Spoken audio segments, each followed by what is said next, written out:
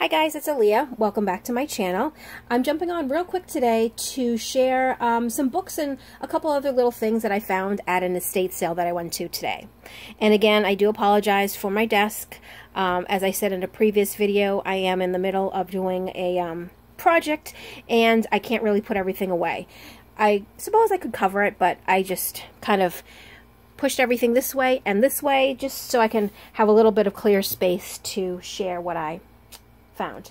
So um, I'm going to show you a couple things that really aren't craft related. Actually, yeah, just a couple things. But my most favorite thing that I found is this. Um, and what it is, is, and I guess, I don't know, the I, am uh, thinking like the boots, the shoes, boot things that you used to wear a long time ago. You would have to pull the um, the laces tight, I'm thinking, because, and I don't know if this is going to show up on camera, so I'm going to do my best. See, it says quality shoes on this side, and this side, and there is a glare, it says Goddard Bros, or Brothers, Lynn, and that's where I live. And um, I did a little research on this when I got home, and there's this huge fabric store, um, kind of like in the downtown area of where I live, called Zimman's, and it opened, I think I was reading, it opened in 19, 1908. But the building that it um, opened in prior to it opening was um, Goddard Bros. Goddard Brothers. I don't know why I keep saying bros. I think because that's what it says there. So they, you know, they sold shoes, clothes, you know, is that kind of store. So you could basically get everything and anything there. From what I was reading online, um, I mean, they even sold like fabrics. Um, well, things that we would almost consider crafty related things, or you would go to like Joann's for, it was all in this store. And I mean, the store itself is huge. I think there's four floors, but I mean, when you even look at the building, it's just so, it's old. Um, you can tell that right off the bat. It's just filled with history. And inside, um, when I was reading on one of the websites, there's still uh, most of the interior. Um, there's exposed beams and stuff like that, or the way it is, um, is original to the building. So they've done upgrades, but not changed it, which is amazing. So I have just a little piece of history, which is really, really cool. So I'm really happy I found that. I also found, it's like a little pill box, but it's so cute. And this top, it actually has to be glued back on, but that doesn't, you know. I'll just slap some glue on it and, you know, bring it back to where it was. But, I mean, it was too cute to leave behind. And because it was broken, the lady just basically gave it to me for free. But, I mean, you know, I love my little, my little tins and plates and all that fun little stuff. So, had to get that. Then I got this. Um, and inside, there's actually not playing cards. There's a couple. Oh. Oh, they're all the jokers. I don't know where the, the rest of the cards went. I didn't even notice that. But, there it is. That's what was in here. It came with a little pencil and then a little score pad. And um, I wish there was some kind of...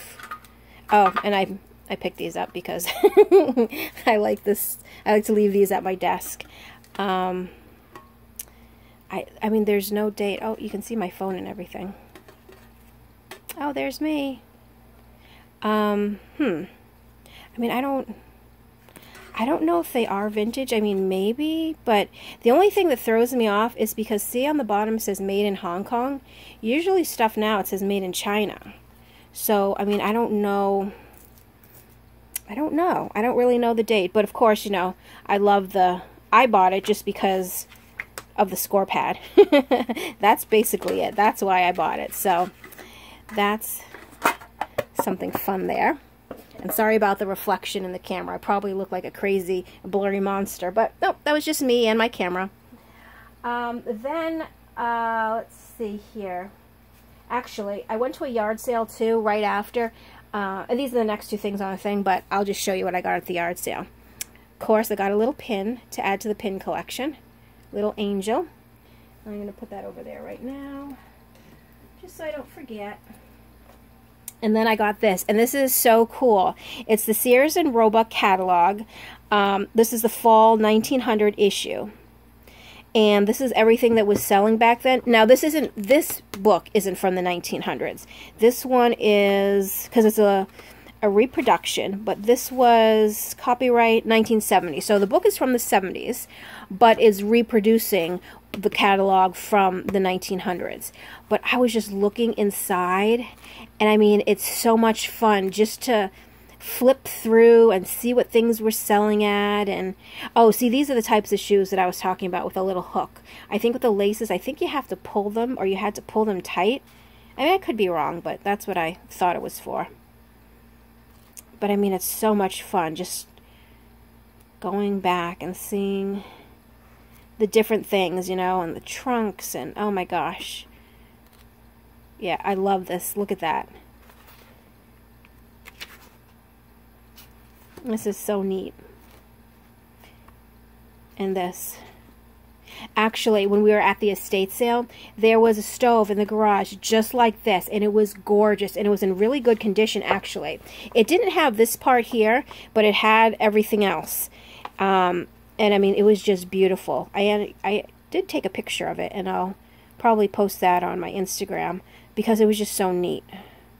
But yeah, so I thought that was really cool. And I mean, it was only 50 cents, so why not?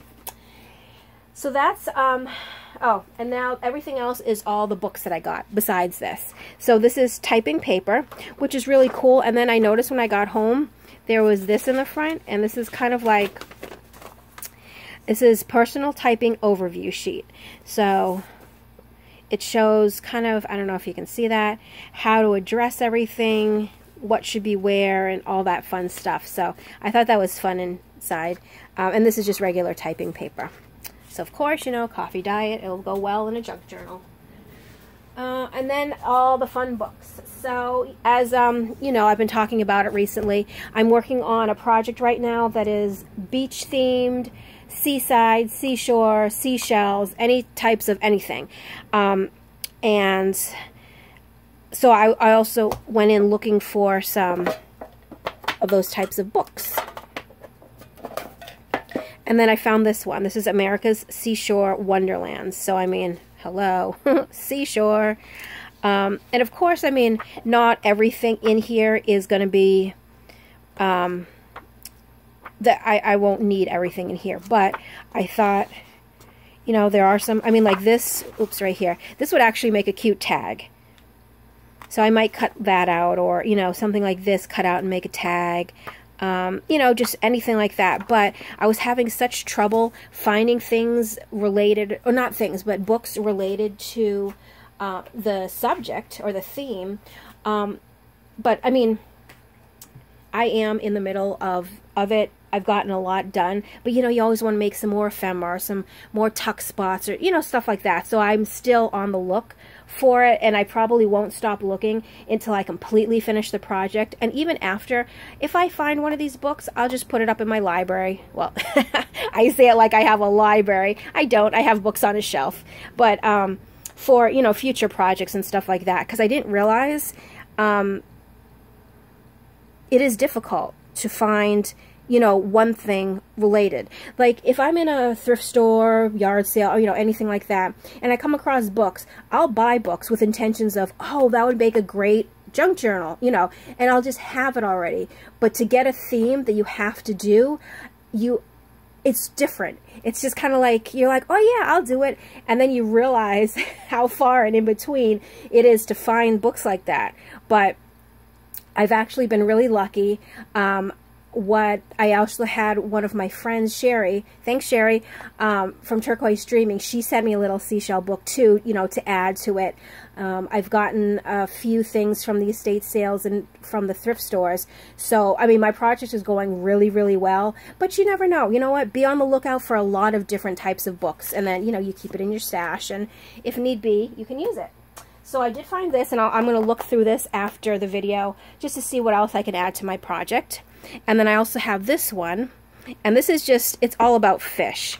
Um, but I there was some, at first I wasn't going to get it, but then there's some things in here that I think would make like really nice um, tags or journaling cards or something. So, you know, I picked that up because you never know. And then I also, I found this one, Canada's Incredible Coasts.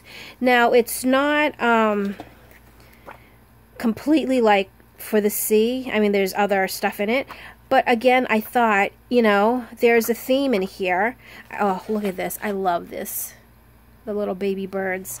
Um, you know, when in doubt, buy it because when I go to this estate sale, well, not this one, but the company that does the estate sales that I go to on Sunday, it's always the same company. And um, Sundays are the last day, so everything's 50% off. Plus, I am a very regular customer, and um, she kind of groups everything together and just gives me one lump sum rather than, okay, this book was marked $2, okay, I'll give it to you 50% off, I'll give it to you for a dollar. She'll count up my books cut it in half and then discount it. So, I mean, I, I can never complain. So if I find good um, books at their estate sales, I always try to pick them up. So there's that. Uh, I also found this one, and this is actually so cute. I mean, it's not, not the book is cute, but the pictures in here. I don't know if I even looked in and saw Oh, I did. Okay, so copyright 1950, so it's from the 50s. But I like the little pictures, and I'm not even in frame. Sorry about that. There we go. Um, all the different little pictures of the birds. I mean, I love this one. the belted kingfisher. He looks like he just woke up and just went flying. He didn't brush his hair or anything. But I love these pictures here. And um, so it's birds in the front there. And then it goes into the wildflowers. And so I thought, oh, I love these pictures. Can't leave that behind either. So that's that one. And then, you know what, let me put these aside because the two I have two more. And I've not ever seen these, and these are so cool. These are, um, well, it says Gregg Typewriting for Colleges, complete course. And this is college typewriting. But the fun thing about it is, look, it binds at the top, so it opens this way. And so when you open it, everything is like this. Isn't that fun? And I mean, basically it's, you know, teaching you how to use the typewriter and stuff. But, oh my gosh. I think the reason why they open this way, I think it might tent. You know, like, um, not, like, you know, you would put it here somehow because I feel like, and maybe I'm wrong, but see how it's this way and then on the back it's upside down. So I don't know, maybe you turn it over and who knows? I'm just now just talking out my bum. But I thought that was really, really cool. And I thought this one was cool too because I think this one is more of for beginners because, let me see, where did I start seeing it?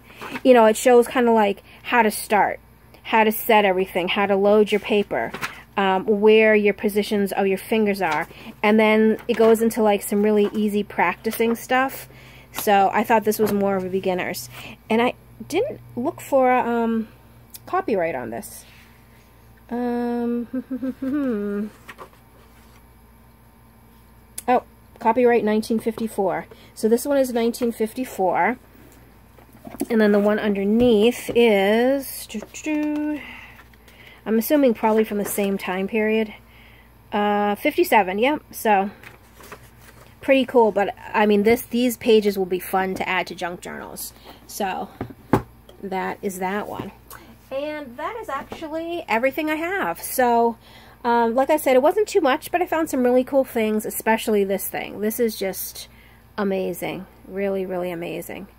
So it's like a little piece of history in my hands. Now it's on my desk. So I hope you enjoyed my little video, um, and thank you so much for watching. I will see you next time. Bye.